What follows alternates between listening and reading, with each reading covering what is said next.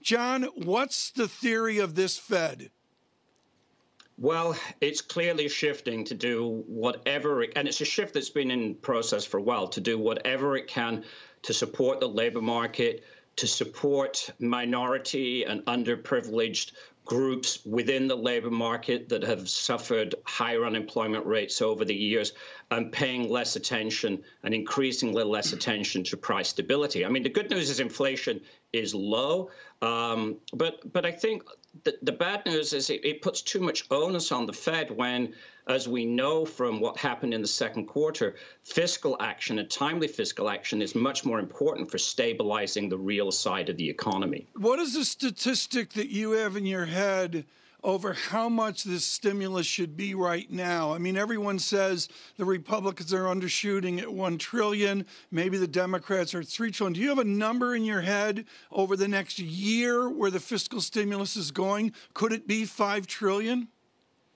Well, I don't have a number because I don't know how the virus is going to play out, and I don't know how the um, medical responses, particularly a vaccine and the timing of the vaccine, is going to play out. But we need a fiscal bridge and a monetary bridge across the chasm in economic activity. Now, the economy has rebounded very nicely in May and June, and we'll find out later this week about how July began. But it looks like the pace of improvement has significantly flattened out. Uh, and you pointed out um, earlier uh, in the show uh, about my former center fielder when I was at the New York Fed, uh, Hitman Harris, Ethan Harris. Um, and uh, I agree with him. The number could be a million, but we wouldn't be surprised by a negative print in, in terms of some of the things that we see. So if there's uncertainty about what happened last month, given the data that we have on July, it's impossible to know how the next six to nine months are going to play out. My guess is that by the end of this year, we will still have a substantial amount of unemployment, perhaps an 8 9%, maybe higher unemployment rate. Uh, and that's a lot of people who are unemployed through no fault of their own.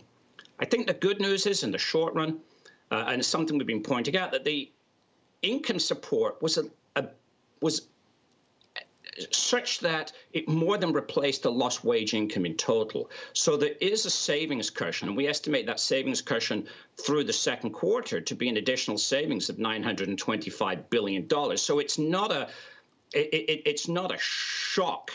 Uh, it's a problem for many households, but in total, it, it's not going to be quite the shock that some people's calculations suggest. But I certainly think we need uh, to extend some form of uh, uh extended unemployment benefits here.